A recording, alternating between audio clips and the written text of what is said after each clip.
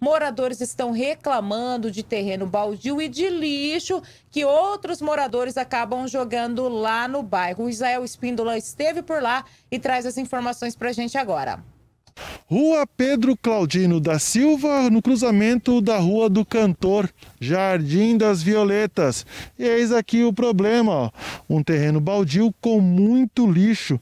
Pneu onde já sabemos que pode ser acúmulo de água parada, proliferação do mosquito Aedes aegypti, lixo doméstico, resto de vaso sanitário, espuma, ou seja, mato alto, todos esses problemas que os moradores aqui desse quadrilátero estão enfrentando, sem mencionar também os animais peçonhentos e, claro, mosquito. A Érica mora aqui do lado. É tudo isso que eu falei que vocês enfrentam aqui todos os dias? Isso, e fora que Pernilongo aumentou bastante também. Na minha casa também, lesma, aranha, os animais estão tudo parecendo. E como eu tenho uma bebê, eu me preocupo. Agora, Érica, o que chama a atenção é que esse lixo aqui não foi o dono do terreno que jogou, são moradores aqui do entorno. Sim, com certeza, né? Falta um pouco mais de conscientização e respeito pelo próximo. Com certeza, isso mesmo. Agora, Érica, já fez a denúncia na prefeitura? Já procurou saber quem é o dono desse terreno? Eu não. Eu, particularmente, eu não, não, não fiz isso, né? Uhum.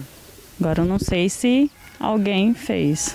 Bom, essa situação acaba te incomodando, essa é a verdade. Sim, muito. Eu me preocupo, né? Como eu falei que eu tenho uma bebê e a dengue tá aí, né?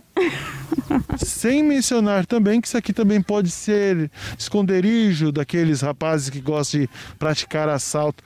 Nunca percebeu a movimentação de ninguém aqui não, né? Não. Ainda bem. Ainda bem, graças a Deus. Já não basta o problema dos pernilongos, do incômodo de animais peçonhentos, imagina ter que enfrentar também o bandido. Né? Ah, não. Graças a Deus, por enquanto, não. Tá certo, Érica, obrigado.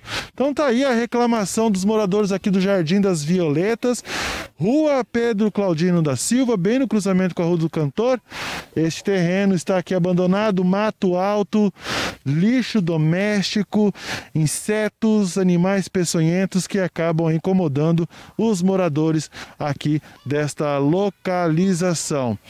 Você chama e a TVC vai até você mostrar a realidade.